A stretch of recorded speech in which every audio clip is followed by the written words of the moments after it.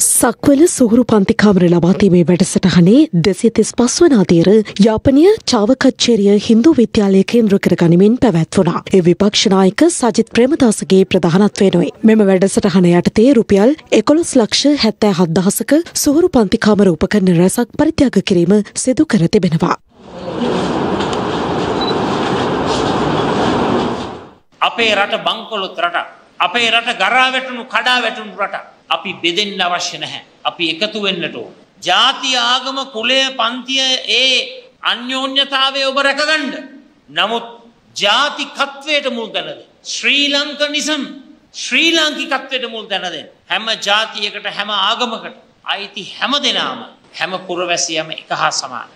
අපි නිර්මාණය කරගන්න එකමුතු භාවය යුනිටිය එක හරහා. රට ගොඩනගන ඩයිනමෝවක් රට දියුණුව කරාගෙන යන මහා නොනවතින සංවර්ධන එන්ජිමක් අපි නිර්මාණය කර. ජාති ආගම් කුළමල පන්ති පක්ෂ ඒ බේද බිල්ලවීම අපිට අවශ්‍ය නැහැ. රට රැකගන්නට ඕන. රට ආරක්ෂා කරගන්නට ඔබත් මමත් අප සියලු දෙනත් මේ රටේ පුරවැසිය. පළවෙනි පන්තියේ දෙවෙනි පන්තියේ තුන්වෙනි පන්තියේ පුරවැසියන් කියලා ක්‍රමයක් අපේ රටේ නැහැ. ඔක්කොම පළවෙනි පන්තියේ පුරවැසියන්. හැබැයි ඒ ප්‍රතිපත්තිය මහ පොළවේ යථාර්ථයක් වෙන්න ඕන. එකට එකතු වෙලා අපේ මාතෘභූමිය ගොඩගමු අපේ මාතෘභූමිය ශක්තිමත් කරමු.